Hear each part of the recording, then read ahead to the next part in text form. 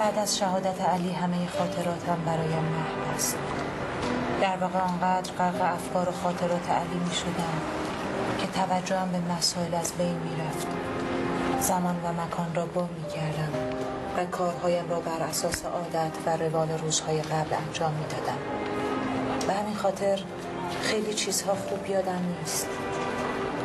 زمان خیلی از حوادث را از یاد بردم. مثل آدمی میماندم که خواب ببیند و بعد با وحشت بپرد و از آن خواب فقط یک چیزها یادش بیاید مسجد باز شلوغ شده بود هرچه بیشتر مردم محله ها را از خانه هایشان بیرون میکشیدیم تعداد مسجدی ها بیشتر می‌شد هر روز یک عده می رفتند و یک عده دیگر جای آنها را پر می کردند. خانواده ها مشکلات خاص خودشان را داشتند. بعض مواد غذایی هم خوب نبود.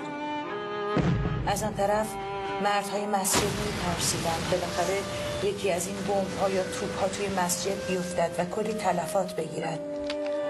وقتی به خود مردم می گفتیم اینجا ماندن فایده ای ندارد. هر کسی می تواند برود. می گفتند کجا بریم ما که ماشین نداریم بدون وسیله چجوری می‌تونیم خودمون رو به یه شهر دیگه برسونیم آبادان هم که زیر آتیش خودتون یه کاری بکنیم همینطور هم شد. توی همان روزها از سوی مطب صدایم زدن که خواهر حسین الان ماشین میاد. کمک کنیم مردم رو ببریم. پرسیدم چجوری با چه وسیله اگه روی پل ماشینشون رو بزنن چی؟ گفتند اصلا قرار نیست از پل رد شن. ما اونا رو با یه قایق از روی شط یه جایی بالاتر از پل رد می‌کنیم.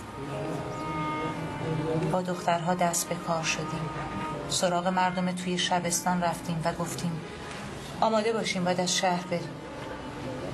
با این حرف خیلی ها از دست ما ناراحت شدن. با اینکه از روز اول گفته بودیم که اینجا ماندن صلاح نیست و باید بروید ولی هنوز از خانه زندگیشان از شهرشان دل نکنده بودند. می‌گفتند کجا بریم؟ جنگ تموم میشه. اینجا میمونیم تا بالاخره سر خونه زندگی خودمون برگردیم. کجا می‌خوایم ما را آواره کنیم؟ وقتی خبر دادند کامیون جلوی در است از مردم خواستیم بلند شوند و وسایلشان را بیرون بیاورند. با چند نفر از نیروهای مردمی که مسلح بودند و حفاظت مسجد را به عهده داشتند به مردم کمک کامیون از زن بچه و پیرزن پر شد. یک عده نشسته یک عده ایستاده. راننده انتهای خیابانی که به شط ختم می شد نگه داشت. مردم از کامیون پیاده شدند و به طرف آب آمدیم. قایق ها و لنج های کوچک حتی قایق های پارویی آماده انتقال مردم بودند. برای گذر مردم از ساحل به داخل قایق ها چند تخت الوار توی آب انداخته بودند. غیر از مردمی که ما آورده بودیم باز هم جمعیت ایستاده بود تا به تدریج منتقل شوند. یک عده برای اینکه جای بیشتری برای سوار شدن باشد توی قایق ها می ایستادند هرچند تا آن دست آب مسافت زیادی نبود و قایق ها مردم را فقط از عرض شط عبور می‌دادند. در حین کار یک نافچه کوچک دریایی رد شد. نافچه در حال عبور با اینکه سرعت چندانی نداشت امواج زیادی ایجاد کرد و آب متلاطم شد. به دنبالش قایق ها بد جور تکان خوردن. توی هم همه ای که به خاطر این مسئله ایجاد شد صدای قررش هواپیماهای دشمن و بمبارانهایشان ترس مردم را چند برابر کرد. تجمع این تعداد دادن در یک نقطه و حضور ناوچه بهانه خوبی برای هدف آنها بود. یک لحظه همه چیز به هم ریخت و قیامتی شد. مردمی که هنوز در حاشیه شب بودند هر کدام به سمتی دویدند و روی خاکها دراز کشیدند. مردم داخل قایق ها نگران به آسمان نگاه می‌کردند. مستاصل بودند. نمی‌دانستند چطور به ساحل برگردند. همین لحظه چشمان به پسر بچه خورد که به خاطر تکانهای قایق تعادلش را از دست داد و توی آب افتاد. متوجه نشد به سمت آب دویدم و فریاد زدم بگیرینش بگیرینش. افتاد بچه افتاد توی آب. توی آن بلبش شد کسی صدایم را نشنید. از حول اینکه طفل معصوم غرق شود با اینکه شنا بلد نبودم به آب زدم. یکی از مردانی هم که لب ساحل بود به آب پرید. پنج شش متری توی آب دست و پا زدم. دیگر همه متوجه شده بودن به بچه نزدیک شدم همچنان داشت دست و پا می‌زد. وقتی دستم به دستش رسید دیگر زیر آب رفته بود. دستش را کشیدم. کمی بالا آمد. بلافاصله مردی که پشت سر من آمده بود از زیر آب پسر بچه را گرفت و بالا آورد. کسانی که توی قایق بودند بچه را گرفتند به پشتش زدند تا آبهایی را که فرو برده بود برگردانند من هم با بدبختی خودم را به ساحل رساندم. به خشکی نرسیده بود که جنگنده ها بالای سر من ظاهر شدند. همه وحشت کرده بودیم. یک عده یک ریز جیغ میکشیدند و گریه می‌کردند. بعضی هم آنها را دلداری می‌دادند که نترسین. اینها هواپیماهای شناسایی هم بمبارون نمی‌کنن از دوتا بمبی که ریختند اولی منفجر نشد و فقط آب زیادی را متلاطم کرد. دومی توی آب منفجر شد. آب مثل فنباره بالا رفت و یک دفعه در شعاع زیادی پخش شد. چند دقیقه بی حرکت ماندیم. وقتی آبها از آسیاب افتاد و وضعیت تقریبا عادی شد بلند شدم. مردم از ترسشان همه جا پخش و پلا شده و حتی تا جلوی بیمارستان مصدق دویده بودن رفتم تا برشان گردانم. دم بیمارستان که رسیدم باز صدای شکستن دیوار صوتی. صدا نزدیکتر و نزدیکتر شد. خورشیجه رفتم جنگنده ها ساختمان موتوری شهرداری رو زدن.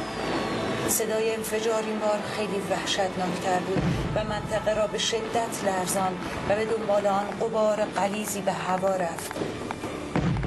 شکستن امواج و سنگینیش فشار شدیدی روی قفسه سینم می آورد انگار می‌خواست شکافته شود.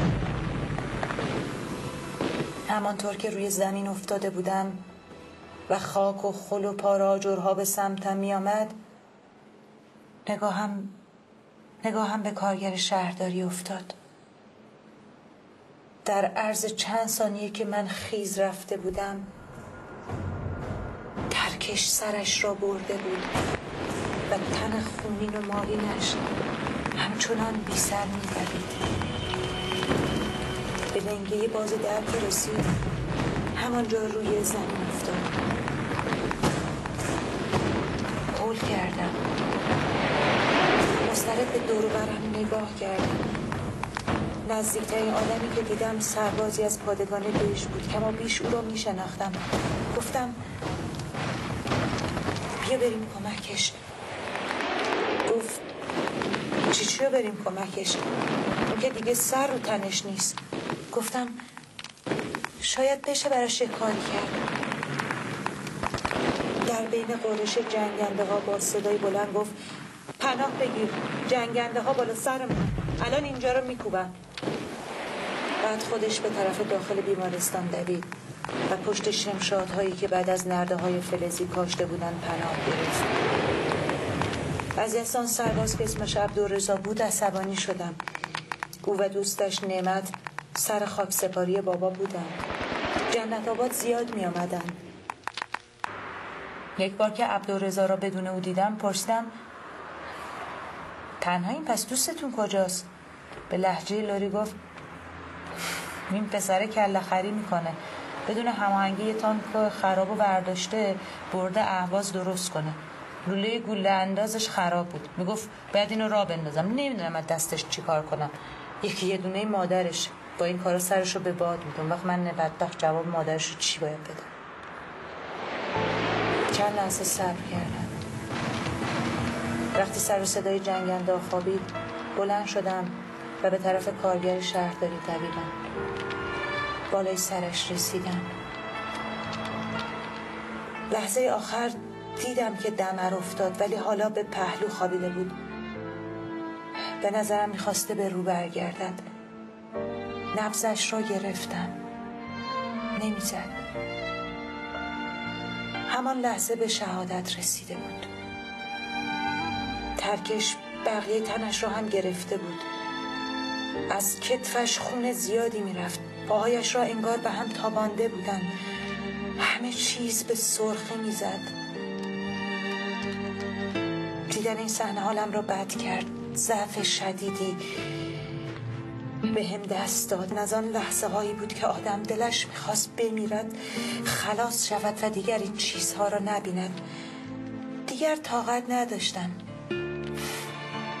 عبدالرزا را صدا کردم.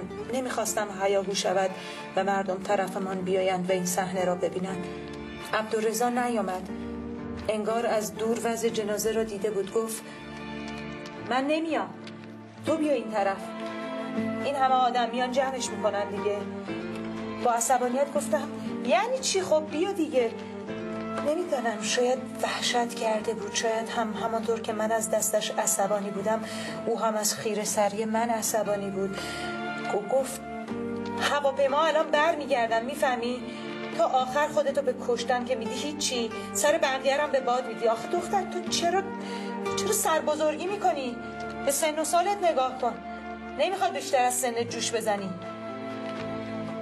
دیگر جوابش را ندادم. فکر کردم چطور باید جنازه نگهبان شهرداری را از روی زمین بردارم؟ شاید می توانستم از بیمارستانی که روبروی ما بود برانکاردی برای انتقالش بگیرم. در همین حال از بین آدم های لبشت دو مرد آمدند. آنها هم از دیدن وضعیت جنازه و نحوه شهادت کارگر خیلی ناراحت شدند. با اینکه این صحنه برایشان ترساور و عجیب نبود ولی ولی حاضر نشدند جنازه را روی دست یا دوششان ببرند بهشان حق دادم. همینطور که دنبال وسیله میگشتیم یکی دیگر از کارگران شهرداری فرغون به دست از سمت فلکه فرمانداری پیش آمد. به ذهنم رسید جنازه را با همین فرغون منتقل کنیم. جلو دویدم و گفتم فرغون تو میدی؟ می‌خوام جنازه این شهید رو باش ببرم سردخونه بیمارستان. عشق فردا تو بیا. نور شان نور پشت